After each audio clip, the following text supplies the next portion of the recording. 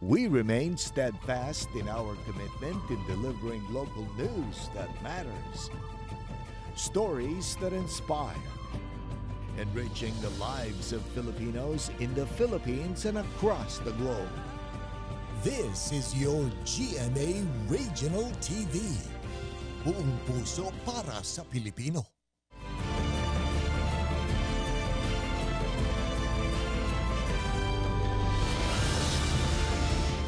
Ang GMA Regional TV 1 North Central Luzon. Masantos yang aram na imbag kamalem maya pagat panapon kapuso. Narito na ang One North Central Luzon. Hatid namin ang mga pinakamalaki at pinakahuling balita sa Hilaga at Gitnang Luzon. Live mula rito sa GMA Dagupan Station, ako po si Chris Zuniga. Drag race sa Dingras, Ilocos Norte, nauwi sa suntukan. Insidente sa pool sa video. Nakatutok, Gab Daluna. Kuha sa video na ito ang gulo at suntukan ng mga kalahok at manonood sa drag race na ginanap sa bypass road ng Dingras, Ilocos Norte. Makikita ang komosyon sa pagitan ng mga sangkot. Tila may bitbit pang kahoy na pamalo ang isa at may nakaambang makipagsuntukan. Maya-maya pa, inawat din ng mga manonood ang nagigiri ang grupo. Ayon sa PNP, may hindi napagkaunawa ng ilang kasali sa drag race. Yung mga marchers, pinapagilid yung mga mga tao. Then, kainitan lang sila ma'am. Okay naman, ay uh, pacify naman kaagad after the habulan at uh, wala po naman na-injure. Bahagi ng kapistahan ng bayan ng drag race. Hindi na nagbigay ng pahayag ang mga organizer nito dahil agad naman daw na pag-usapan ang insidente. At wala namang malubhang nasaktan. Titiyakin naman daw nila ang mas mahigpit na seguridad sa susunod na karera. Para sa mga sumasali sa mga paligsahan ng ano yung init ng ulo, alisin muna nila ah, para maiwasan yung anumang ah, hindi ka nais-nais na mangyayari. Kasama si Reynold Velasco, Gab De Luna, 1 North Central Luzon. Nasawi sa sunog ang mag-ina at isa pa nilang kaanak sa Binmalay, Pangasinan. Nakaalerto si Claire Lacanilaw. Tatlong magkakamag-anak ang nasawi matapos matrap sa kanilang nasusunog na bahay sa barangay Baybay Lopez, Binmali, Pangasinan, pasado alas 11 kagabi. Ayon sa Binmali BFP, natagpuan sa isang kwarto ang kanilang mga sunog na katawan. Hindi pa malinaw ang pinagmula ng apoy, pero posibleng dahil daw ito sa sinunog na basura. Inabot ng isang oras bago naapula ang sunog na tumupok sa tatlong magkakatabing struktura. Tumanggi mo nang magbigay ng iba pang detalye ang BFP habang iniimbestigahan pa ang insidente. Yung investigan pa po natin ma'am kung saan po nagsimula yung sunog at yung cause of damage po. Nasunog din ang dalawang palapag na bahay sa Barangay Poblasyon Bani, Pangasinan kaninang umaga. Umabot ng unang alarma ang sunog na tumagal ng mahigit 30 minuto bago idineklarang fire out. Isa sa tinitingnan sanhi ng sunog ang palyadong linya ng kuryente. Wala namang nasaktan sa insidente. Habang sa Nueva Ecija, isang storage building naman ang nasunog sa Barangay Poblasyon General Mamerto Natividad. Ayon sa BFP, imbakan ng uling ang gusali, kaya mabilis na kumalat ang apoy. Isa naman sa tinitingnan sanhi ng sunog, ang mga natagpo ang upos ng sigarilyo malapit sa lugar. Aabot sa 25,000 pesos ang tinatayang danyos ng sunog, kasamang isang motorsiklo. Wala namang nasaktan sa insidente. Claire Lacanilaw, 1 North Central Luzon. Samantala, kamustahin natin ang sitwasyon sa bus terminal ngayon at ang kanilang paghahanda para sa inaasahang dagsa ng mga biyahero sa Semana Santa. Yan ang tinutukan live ni Joan Punsoy. Joan? Chris, mahaba na ang pila dito sa isang bus terminal sa Dagupan City pero ayon na rin sa pamunaan, normal senaryo lamang ito tuwing biyernes na nagsisauwian nga itong mga estudyante at maging mga empleyado na nagtatrabaho dito sa probinsya ng Pangasinan. So expected Chris nga na by next week in line with Holy Week ay aasahan pa raw na mas mahaba itong pila sa mga bus terminal. Sa ngayon kasi dito sa ating area, ito yung uh, terminal ng buses going to Zambales. So dito naka pila itong ating mga kababayan na uuwi rin sa kanilang mga bayan na madadaanan nga patungo sa probinsya ng Zambales. 30 minutes time interval ito ipinatutupad ngayon. Regular time interval pa lang ito ngayon, Chris, pero expected nga by next week, especially on Mondays, Tuesdays, and Wednesday, ay posibleng ah, mas iiksi itong time interval na magiging 10 to 15 minutes nga itong biyahe. Sa ngayon kasi Chris, um, normal parang daw itong situation na nararanasan pero expect- expected nga by next week ay magkakaroon na ng changes. 24 hours operation naman ang ipinatutupad sa ngayon. 1 o'clock a.m. to 3 o'clock a.m. ang first trip going Manila. 10 o'clock p.m. naman ang pinaka-late na biyahe going to Manila. Sapat ang bilang ng mga bus sa ngayon pero on process pa raw itong mga special permits para sa mga karagdagang bus na gagamitin for Holy Week. Sapat ang bilang ng konduktor, sapat ang bilang ng mga driver at sapat na tulog din umano ang kanilang ilalaan para maging secured and safe nga itong biyahe. Expected din na by next week magkakaroon ng inspection authorities dito sa mga bus terminal para i-check nga itong kalidad ng mga sasakyan at maging nga itong ating mga facilities para na rin sa security ng mga biyahero. Chris, Maraming salamat, Joan Punsoy.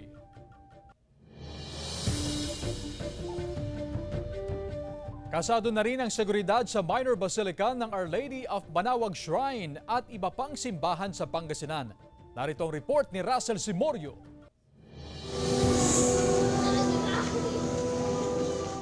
Libo-libong deboto ang inaasahang dadagsa sa Minor Basilica ng Our Lady of the Holy Rosary of Manawag sa paggunita ng Simana Santa. Maaga nang nakipag-ugnayan ng lokal na pamahalaan sa pamunuan ng Basilica Minor para sa ilalatag na seguridad. May mga public assistance na ipopwesto sa entry at exit point ng Basilica Minor. Nakalatag na po yung aming mga force multipliers at sa ating mga ah, MDRR, ah, traffic, etc. At ah, pati po aming traffic enforcers ay naka-activate na rin. No? In fact, ah, yan po ang aming naabangan. Magkakaroon kami ng command post. May live streaming para sa mga debotong hindi personal na makakadalo sa misa. Planchado na ang ilalatag na seguridad ng Pangasinan Police Provincial Office. Tututukan ng mga beach resort para sa target na zero drowning incident sa nakaraang paggunita ng Simana Santa. Walong insidente ng pagkalunod ang naitala ng pulisya. May mga volunteer at force multipliers na magiging katuwang ng pulisya sa pagbabantay sa security preparation natin sa mga beach areas uh, talagang uh, paiigtingin uli natin at tututukan natin yung sa drowning incidents natin. So may coordination na tayo sa mga MDRMO. kasama si Henry Domencil, Russell Simorio, One North Central Luzon. Mga lumang kagamitan at ang ilan ay galing pa sa junk shop pinagkakakitaan ng 57 anyos na vintage collector sa Ilocos Norte. Tunghayan sa report. Sa lumang bahay na ito sa Pasukin ni Ilocos Norte, matatagpuan ang iba't ibang kagamitan at abubot na gawa sa mga lumang gamit. Ang itinuturing na basura ng iba, binibigyang buhay ng 57 anyos na vintage collector na si William Ragindin. Sampung taon na raw itong gumagawa ng mga muebles mula sa mga repurposed materials. Basta lahat ng lumang gamit sa amin is ginagawa namin ng buhay. Nire-repurpose namin lahat para hindi mawala sa istorya ng ating ah, lipunan. Puno rin ng biomorphic art o abstract ang mala exhibit na bahay ni William. Ang mga driftwood na inanod ng bagyo sa dagat, ginawang dekorasyon. May lumang sewing machine at bike na ginawang mesa. Ginawa namang lampshade ang mga lumang paratroopers helmet. Matyagang nire-repurpose ni William ang mga lumang gamit at kumikita raw siya ng mahigit 15,000 pesos kada buwan. Malakas ang dating ng mga fan ng mga old ah, items. So, hindi kami nababakante. Meron palagi kaming nabebenta o bisita Pinaka-iniingatan naman ng vintage collector ang kanyang 1970s na turntable at stereo set, Willys Jeep at military bike. Bukas naman daw ang bahay ni William para sa mga interesado sa vintage items. Di naman ako mahilig dati. ah, nagawi lang ako sa luma. So yun na yung passion ko. Tapos ginawa kong hanap buhay. Kaya bago raw itapon ang mga lumang gamit, pag-isipan muna dahil baka pwede pa itong pakinabangan. Kasama si Reynold Velasco, Gab De Luna, 1 North Central Luzon. Ito ang GMA Regional TV 1 North Central Luzon.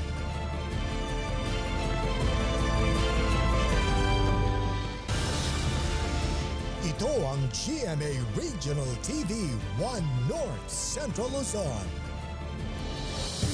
Provincial Director ng Pangasinan PNP ginagamit daw ang pangalan para makapanggancho ang ilang kawatan. Tutukan sa report. Sunod-sunod na tawag mula sa ilang opisyal ng gobyerno ang natanggap ni Pangasinan Police Provincial Office Director Colonel Jeff Fanget. Tinawagan daw sila gamit ang ibang numero at ang kanyang pangalan nang hihingi ng pera. Ang isa sa mga nabiktima nakuhanan daw ng libu-libong pisong halaga ng pera. Pero nilinaw ni Fanget wala siyang tinatawagan at lalong hindi siya nanghihingi ng pera. Ginagamit daw ang kanyang pangalan ng isang individual para manggancho Hindi bababa sa limang vice mayors yung uh, tumawag na sa atin na ginagamit yung pangalan ko na kunyari may transaction ako sa kanila. Nakipag-ugnayan na si Fanged sa iba pang concerned agencies para matrace ang cellphone number na ginagamit ng kawatan. Kung wala kayong uh, nai-arrange na meeting at may tatawag sa inyo, huwag po kagad kayo maniniwala. And uh, make sure po na mag-verify muna tayo o mag-confirm muna tayo bago po tayo magpadala ng mga pag humihingi ng uh, mga pera. Ilan pang kaso ng online scam ang iniimbestigahan ng pulisya. Ilan sa mga biktima, mga maliliit na negosyante. Paalala ng pulisya para hindi mabiktima ng online scam maging mausisa bago magtiwala. Alamin ang background o record ng katransaksyon online at huwag pipirma o magbabayad ng walang kaukulang dokumento. Kasama si Henry Domencil, Russell Simorio, One North Central Luzon. Sidewalk sa AB Fernandez Avenue sa Dagupan City sinisimula ng pataasan. Sundan sa report. Sinimulan na ring pataasan ang sidewalk ng AV Fernandez Avenue sa Dagupan City. Nasa 27 pulgada ang taas nito mula sa kalsada. Para may madaanan po yung tao na maayos po para hindi na po dito sa kuwan dumaan. Naglagay ng improvised na hagdan ang mga negosyante para sa mga customer. Ang ilan sinadyang magpagawa ng sementadong hagdan. Kasi nahihirapan yung mga customer namin, mami. Yung mga senior citizen. Ayaw nilang bumaba. Kasabay ng pagpapataas ng sidewalk ang pagbaba naman ng ceiling ng stalls. Kaya doble ingat ang mga naglalakad para hindi mauntog. Kapag naka-uniform po tulad ngayon, nakatakong po siya. Minsan din po nakatakong din po ako. Mahirap pong umakyat. Minsan po mahirap pong maglakad since na ano po yung ulo. Pero yung ko na lang po ganun. Pero ayon sa Poso, maiiwasan naman ang disgrasya kapag focus sa paglalakad at iwasang mag-cellphone o makipagkwentuhan habang naglalakad. At sinasabihan yung mga may-ari na kung po pwede, lagyan ng mga reflectorize o mga caution tip kung ano man po yung ma-produce nila. Kasama si Ron Alistair Tanyedo, Joan Punsoy, One North Central Luzon. Ilang classroom naman sa Bangaldan, Pangasinan na malapit ng magiba, sinimulan ng ayusin. Ang detalye sa report. February 2023 nang maitampok sa Jimmy Regional TV 1 North Central Luzon ang tumagas na tubig ulan sa kisame ng isang silid-aralan ng David Elementary School sa Mangaldan, Pangasinan. Luma at sira na ang kisame. Ang ilan, nababakbak na at tinapalan na lang ng tape. Ang isang silid-aralan na ito, naging bodega na lang ng mga lumang gamit dahil sira na ang kisame. Hindi na rin ligtas gamitin ng mga mag-aaral at guro dahil dito, apektado ang pag-aaral ng mga estudyante pati pagtuturo ng mga guro. Oh, inanay na po kasi yung ano yung bubong po namin kaya delikado na po na ano na gamitin talaga ng mga bata. By next school year, ah, hindi na po kami mag-shifting of classes kasi kulang talaga kami ng classrooms po dito. Ngayong taon, sinimulan na ang pagsasaayos sa mga silid-aralan. Target na matapos ang rehabilitasyon bago ang pagsisimula ng susunod na school year ipinatutupad muna ang shifting of classes dahil sa kakulangan ng silid-aralan. Patuloy ang monitoring at assessment ng DepEd Regional Office 1 sa mga eskwelahan na nangangailangan ng renovation at rehabilitation. So actually ay nire-report din sa pamamagitan ng mga monitoring activities na sinasagawa po ng ating mga DRRM coordinators. Kasama si Jing Dakanay, Claire Lacanilaw, 1 North Central Luzon. Ito ang GMA Regional TV 1 North Central Luzon.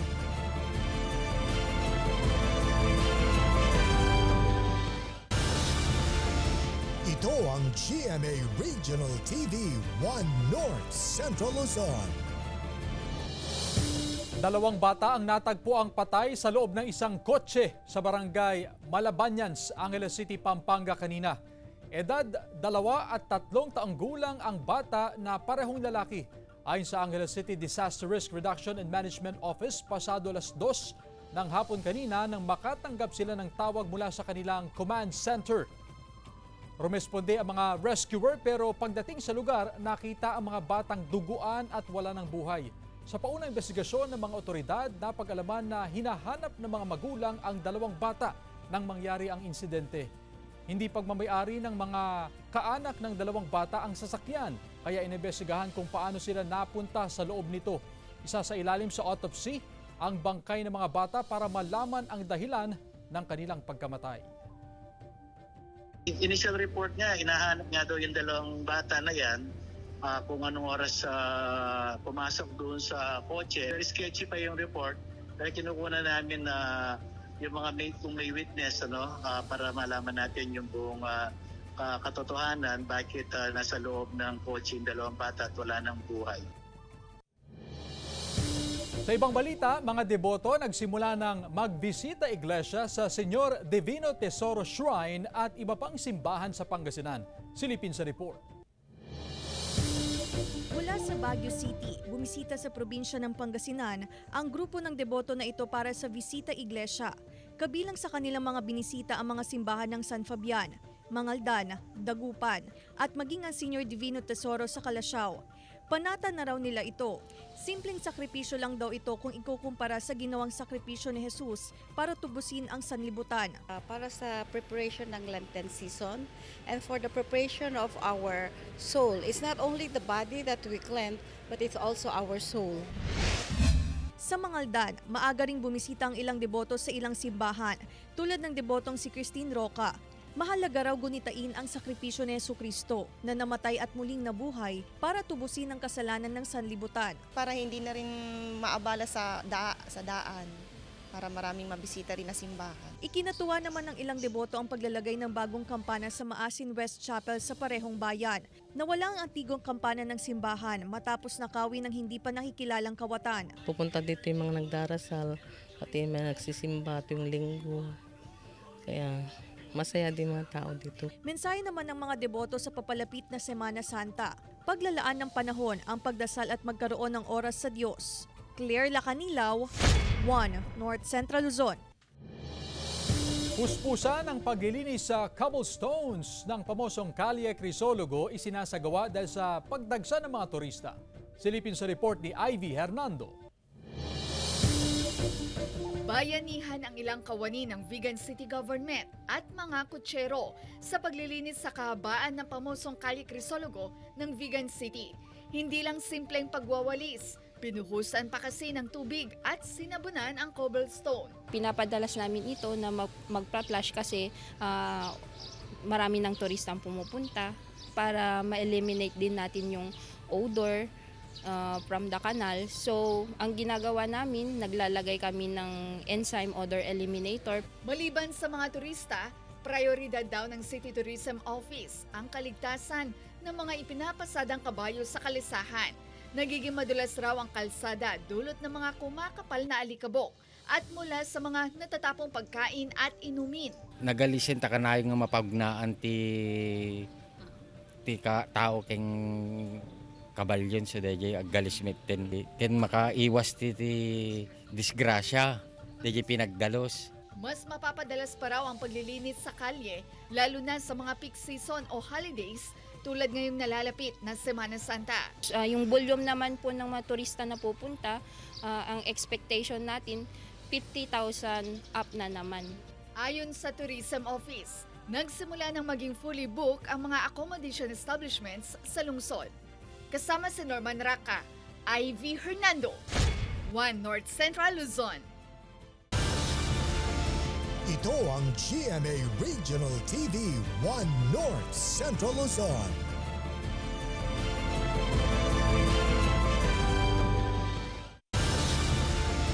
Ito ang GMA Regional TV 1 North Central Luzon.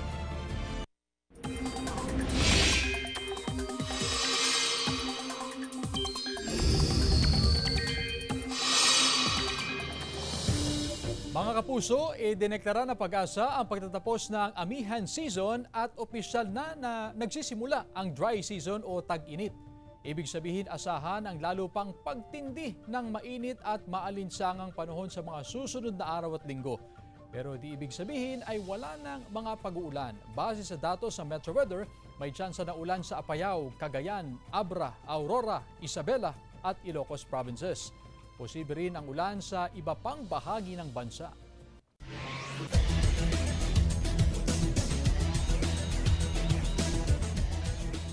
Do or Die Game 3 ng NCAA Season 99 Juniors Basketball Finals abangan bukas sa GTV. Naritong report. not done yet. I thank the boys, they fight. Hindi ako magaling. Si God ang magaling. To God be the glory.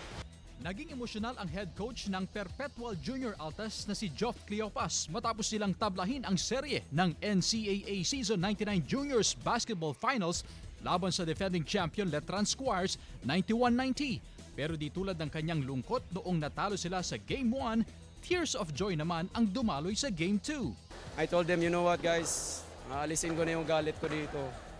But I want you to fight. Let's just play basketball, dive the ball, go hard, and we'll see kung anong talaman ko. I really appreciate the competition ng kabilang team.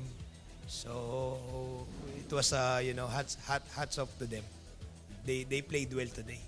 Yung game 1 po, hindi ko po ano po eh, parang hindi ko parang bagsak po yung katawan namin, parang hindi, hindi po namin alam anong nangyari nung game, game 1. Eh, kaya naman po namin sana nung game 1. Nung game 2, parang pin, pinag-usapan po namin lahat, nag-huddle po kami na laban, laban na po, ito na po, wala na pong bukas. Mula now or never para sa Perpetual sa Game 2 sa darating na Sabado. Do or die para sa kampyonato ang dalawang koponan. Iba yung puso ng mga players ngayon. Sabi ko, alam kong sobrang lakas talaga ng Litran. And it's just a blessing today. And then I don't want to say that we're gonna take that game 3, but God only knows that. Ah, sabi ko lang naman sa kanila, uh, it's just a test. So nanalo kami ng game 1, nanalo yung perpetual ng game 2. So parang pinasarap lang. Huwag palagpasin ang Do or Die Saturday ng NCAA Season 99 Juniors Basketball Championship Sabado, March 23, 9.30 ng umaga, live sa GTV. Babaeng Aita na kauna-unahang Criminology Board exam passer sa kanilang tribo sa Pampanga, kilalanin sa ulat ni Gab De Ito ang graduation ng 22 anyos na si Lady Anduya, isang proud member ng tribong Mag-Indio o Mag-Ansi mula Porac, Pampanga. July 2023 nang magtapos siya sa kursong Bachelor of Science in Criminology sa Central Luzon College of Science and Technology. At nitong Marso lang, kasama si Lady Ann sa 15,000 pumasa sa Criminologist Licensure Examination sa bansa. Siya ang unang babae sa kanyang tribo na pumasa sa CLE. Kwento ni Lady, bata pa lang daw, pinagbutihan na niya ang pag-aaral para makakuha ng scholarship at nakatungtong sa kolehiyo. Panahon po kasi ng tatlo kong kuya, ah, si tatay lang po yung nagtatrabaho. Nakakaya lang po nung ah, nung nakukuha puso sa akin ni tatay. Nung nag-graduate po ako ng senior high, ah, bumuhos po yung pagpapala ng Panginoon. Resulta ng kanyang talino at pagpupursige sa kolehiyo, ang tinanggap niyang pagkilala bilang Most Outstanding Criminology Intern, Service Awardee at Best in Thesis. May mensahe naman si Lady Ann sa mga kapwa babae at katutubo. Hindi tayo babae lang or hindi tayo aita lang. Hindi, ah, isa rin tayo sa mga tao na pwedeng tumupad sa mga natin.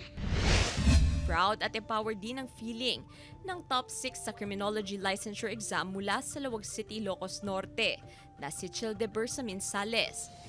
89.95% ang nakuha niyang rating na regalo niya sa kanyang lola na nagpalaki sa kanya at sumuporta sa kanyang pag-aaral. Bilang sukli, itutuloy niya ang pagpupulis. Simbolo raw sina Lady at Childe na hindi hadlang ang kasarian at estado sa buhay sa pagkamit ng pangarap.